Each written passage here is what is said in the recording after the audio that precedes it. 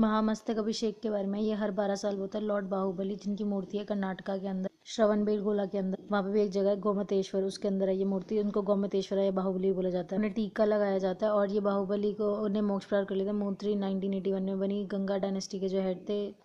चवुंदरावा उन्होंने बनाई थी ये स्टोन और इनका ये जो स्टैचू है वो सिर्फ एक रॉक से बना हुआ है बाहुबली का